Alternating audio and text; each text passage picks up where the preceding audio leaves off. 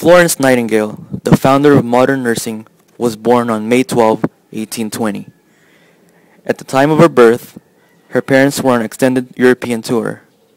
Her parents, Edward and Frances Nightingale, named their daughter after her birthplace, Florence, Italy. The Nightingales were a well-educated, affluent, aristocratic Victorian family that maintained residence in Derbyshire. This latter residence was near London, which allowed the family to participate in London's spring and autumn social seasons. Although the extended Nightingale family was large, the immediate family included only Florence Nightingale and her elder sister, Parthenope. During her childhood, Nightingale's father educated her more broadly and rigorously than other young women of her time.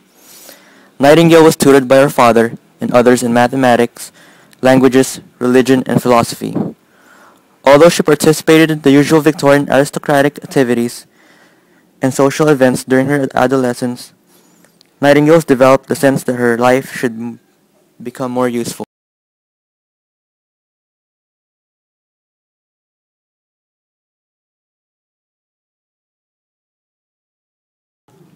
Today, I am 30.